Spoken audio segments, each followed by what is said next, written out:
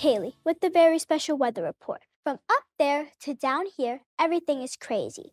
If we don't listen to scientists, things are going to be even crazier when I grow up. Let's look at the forecast for 2050. Heat waves will affect 94% of children, making playing outside a thing of the past. Extreme droughts will wipe out wheat crops, killing the one food my brother eats bread. Disasters will cost taxpayers almost $6 trillion.